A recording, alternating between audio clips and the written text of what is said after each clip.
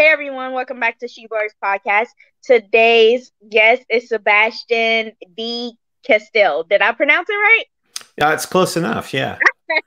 so, how do you pronounce it? You know, I never know how to pronounce it correctly because it's a French name, and uh, but but I've mostly been living in English uh, places most of my life. So I usually, I think I say Sebastien de Castell. Okay, okay, that works. but they're all perfectly good. There's, there's...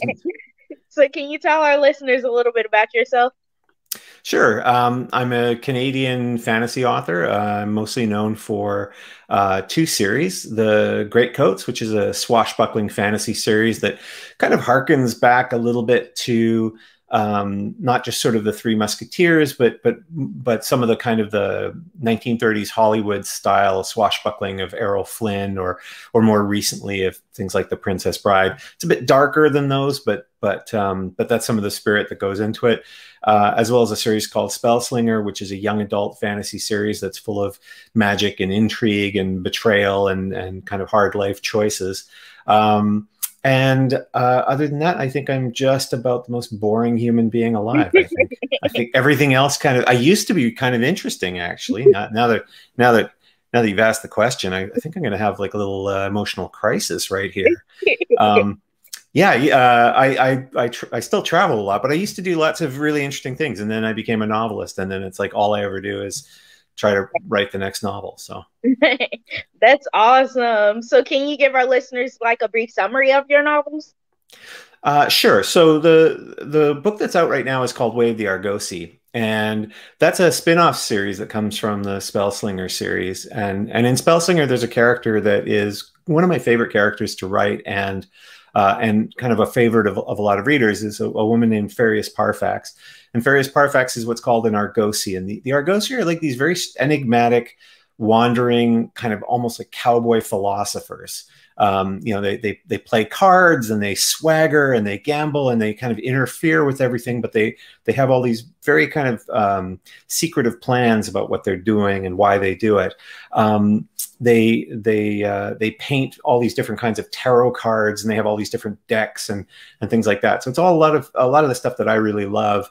And um, when I finished the Spellslinger series, which is a six book series, um, uh, people kept writing me about wanting to know how to be an Argosi because they were so kind of enamored of Ferius and what she did. And one of the things I love about writing the Argosi is that unlike you know, in a, in a lot of fantasy novels, the the the sort of the interesting orders of people are are all about magic. You know, so if you think of the Jedi in Star Wars, right? Like you sort of have to be born with a, a, kind of an attachment to the force and and to be a true jedi you kind of have to divorce all of your human feelings a, a lot you know and i've, I've never really liked that because I, I quite like human beings strangely enough.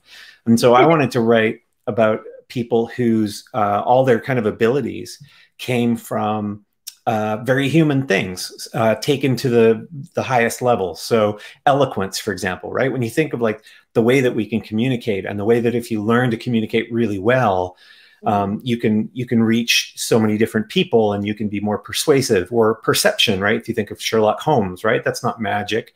Uh, I mean, it's it's still fantastical, but it's it's not magic per se, right? He's he's kind of using the human mind um, or dance right? Dance music uh, all of these things are amazing. So the argosi are this kind of group of people who who learn to take these talents what are called the seven talents to these very high levels. And so i was getting all these fan letters of people going i want to know how to be an argosi.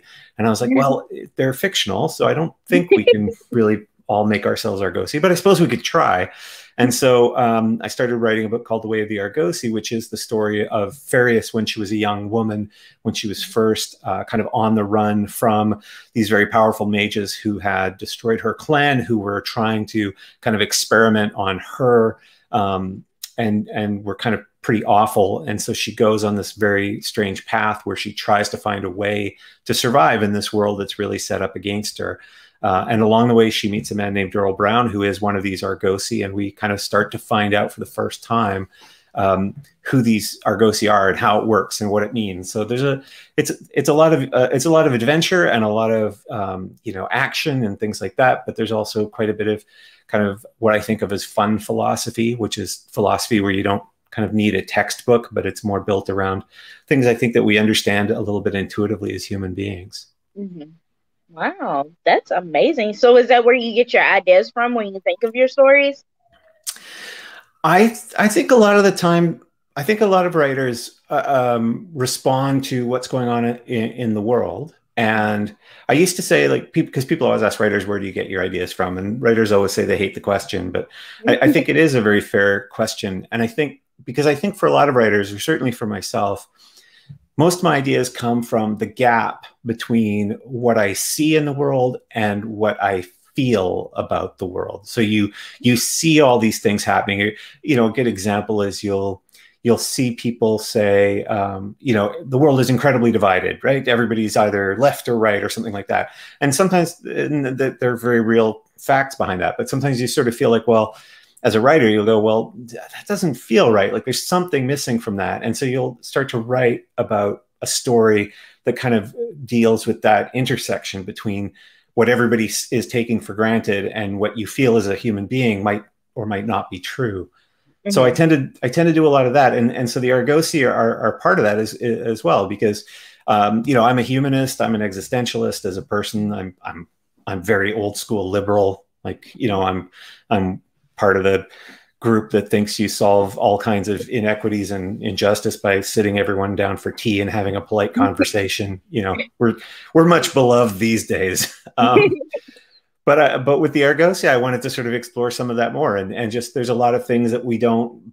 tend to believe in very much anymore uh, that were a big deal. Like when I was a little kid, pacifism was a serious political and philosophical perspective.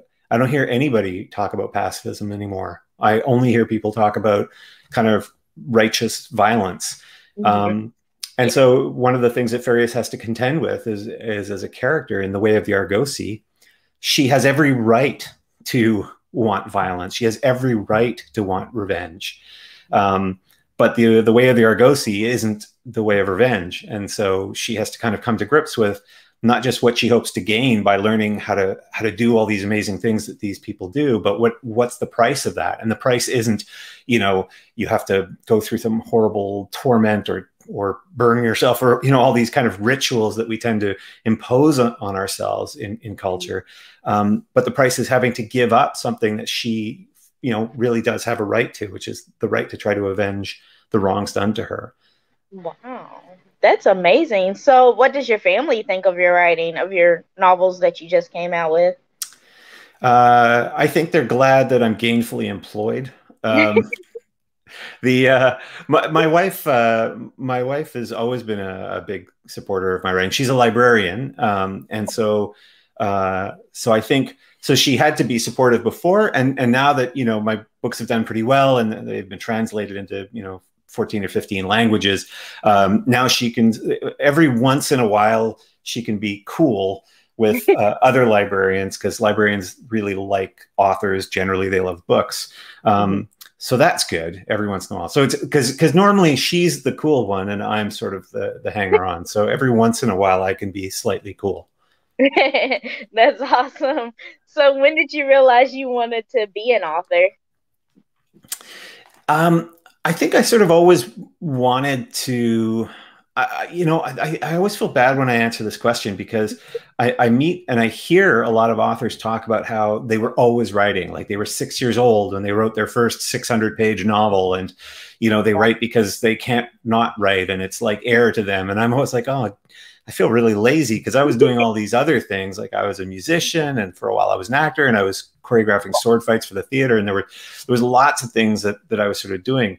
Um, but probably when it became serious for me was uh, when I was 27. I was um, I was in a touring rock band. Um, I was making pretty terrible money. I was making like 250 bucks a week uh, as a, as a musician, playing, you know, Mustang Sally and Brown Eyed Girl in every tiny town you can find. Um, and I was being sued uh, or threatened with a lawsuit by the bass player for control of the band. Um, uh, he's a he's a lovely he's a lovely person, and uh, and and we we became friends again after that. But um, but but suffice it to say, I was in a bad creative place. Um, and when I'm in a really bad place, when I when I really don't know what to do, um, I've always uh, gone to the library. Um, libraries are. Uh, I, I always I, am always amazed when because sometimes I'll travel to countries where like the UK, which hasn't been. I love the UK, but it it hasn't been great to its libraries. And I always think like this is the strangest things because the libraries are like cathedrals for everyone, right? Like that you can walk into a library with no idea what you want to do with your life. You can have no idea what you want to do, what you care about, and everything's there for you. You know, like there's a, an infinite number of choices. And so that's what I did. I was I was just feeling really down because you know I was playing cover music every weekend. My musical aspirations had not therefore you know been entirely fulfilled. Um, U2 and Coldplay were not calling to ask me if I wanted to join the band. um, and I, I, found a set of um, cassette tapes in a, in a cardboard box on the sixth floor of Vancouver Public Library. And inside that box were these these cassette old cassette tapes. There were two sides, and uh, and it was a, a, it was a course called uh, "Let's Write a Mystery" by a guy named Ralph McInerny. And Ralph McInerny is a pretty well known at the time um, mystery writer. Uh, he wrote these kind of religious mysteries, um, and I'm not really a religious person, so it was kind of an interesting mix. Um, and uh, but he he he had this course uh, where he would teach you how to write a novel by writing a novel alongside you. So he was literally on these cassette tapes. He'd say, "Okay, today this is what I've written. This is what you need. You got to write something like this. You got to today you got to create your protagonist, and you got to have them do this, and uh, you know something's got to happen, or you got to introduce the mystery." And I didn't know what I was doing, um, but he included his first draft of the novel he was writing in the box, and this was like the most terrible novel I'd ever read. I mean, it was awful. But the thing is, Ralph McInerny was was actually a great writer, and the fact that he was willing to kind of expose what his first draft looked like, that he was willing to show, like, hey, here's what it looks like when I just sit there and try and write a book. It's not all great the first time around; it gets better, right? Um, that just motivated me so much. So I wrote the first draft of, an, of a novel, and I just felt fantastic. And I was like, okay, I've done this. I don't need to do it again. Um, but then few, six years later, I decided, um, you know what, I'm going to try this again. And that's the that's the wonderful thing about writing. It doesn't have to happen all in one day. It doesn't have to happen all in one year. Um, and that second book became uh, the first draft of, of Traitor's Blade, which um, which uh, years afterwards I, I, revised, and then that got me a four book deal, uh, which then got me an eight book deal, which then got me another four book deal, which got me a lot of deadlines that I have to meet all the time. nice. Well, congratulations. I, I feel like I'm too old to write books. Like I feel like it's too old for me to start writing.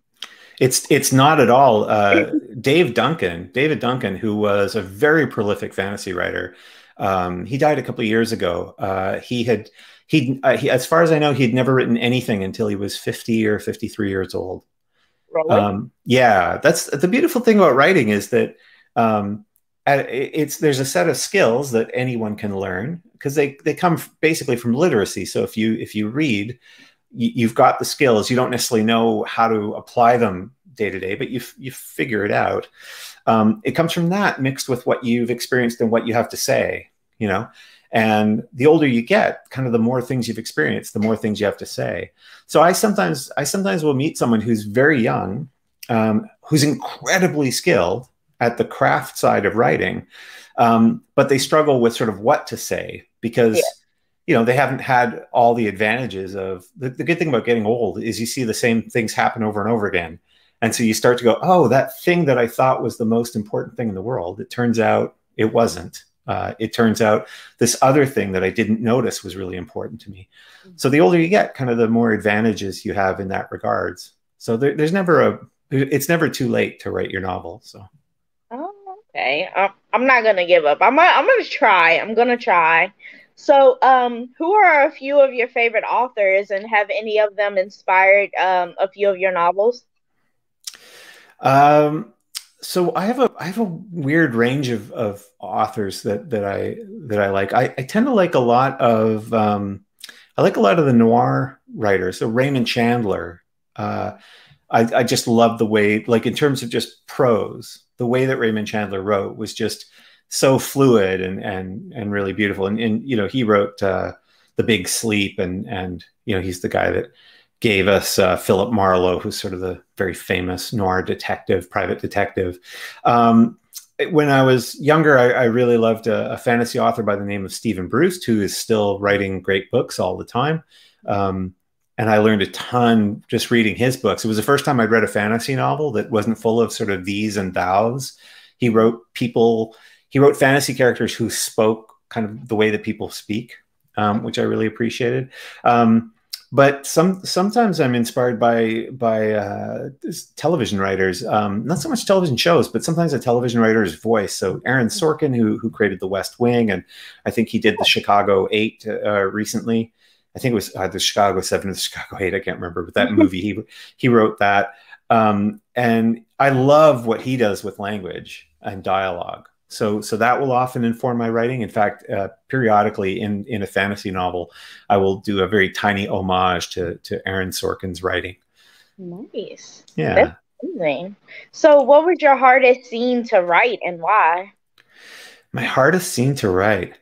Mm-hmm. It's the interesting thing is that for me, the hardest scenes to write are the trend are sometimes what we think of as transitional scenes.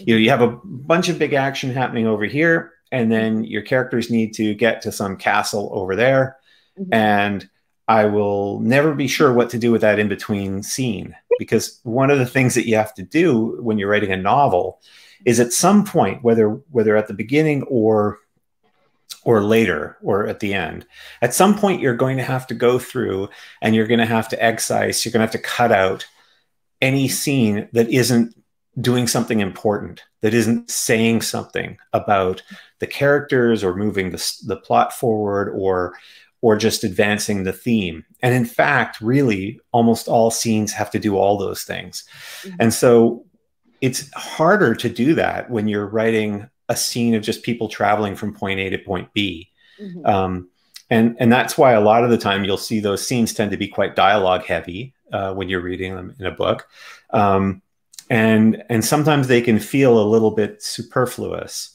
um, but it's one of the advantages people are very, people are so um, attuned to television and movies now and video games mm-hmm. one of the advantages that television uh, and movies have is um, is montage, right? So any one of those scenes where all of a sudden, you know, it's like a, it's like a, in a boxing movie where the boxer has to train, and a whole bunch of time passes and they're like they're in the, the ring and they're sort of punching or they're jogging or they're doing skipping rope or they're punching sides of beef in a freezer or some weird thing right?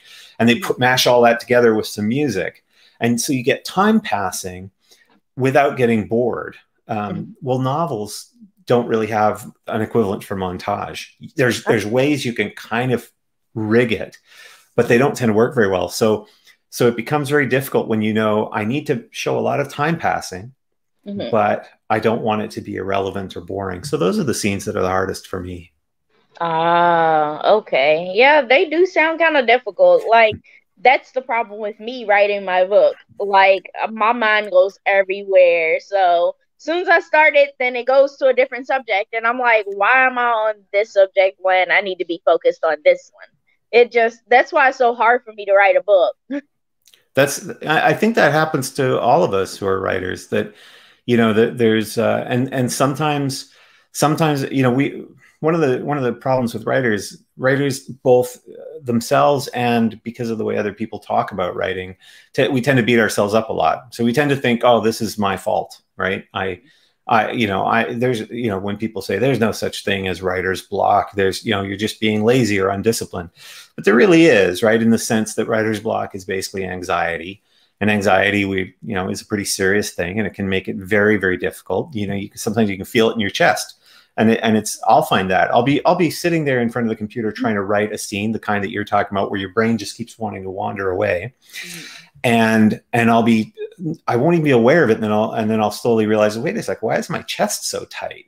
Yes. and it's because i'm feeling a lot of anxiety. And you have to you you can't cure the anxiety by beating it with a hammer right? right. You, so so I I will tend to sort of say to myself, okay, how about if I just, you know, it's okay if I feel like I can't handle it right now, I'll just stop for a while. I'll do something else. I'll do, you know, I'll I'll take a walk or I'll watch YouTube or or whatever, and I'll just say, look, in half an hour, I'm just going to check in with myself because I waste a lot of time. Um, it's one of the great joys of being a full time author is that you can spend four hours watching YouTube and call it research. Um, but I'll, I'll just say in half an hour, I'm going to check in with myself. And so half an hour, I'll sit in front of the keyboard again. I'll go, do I feel like I can just try a sentence? And if I feel that tension there, if I, you know, I'll just go, all right, you know what? I'm not ready yet. And it, but eventually, once you, once your kind of brain starts to realize that you're not going to beat it up, that you're not going to force yourself to do something, right that that it really doesn't want to do it starts to relax a little bit and eventually I, go, I sort of get to the point where i'm like okay i'll just write a paragraph that's a paragraph is not a lot to write in one day that would be terrible but that's okay because i'm i'm saying it's okay and i write that paragraph and then i'll end up suddenly writing for you know two hours straight and getting 4000 words on the page so that that's usually what i suggest ah okay that's that's awesome advice I want to thank you so much for coming on my show today and allowing me to interview you about your book and being an author. Thanks so much. Thanks for having me on. you have a great day. You too. Bye bye.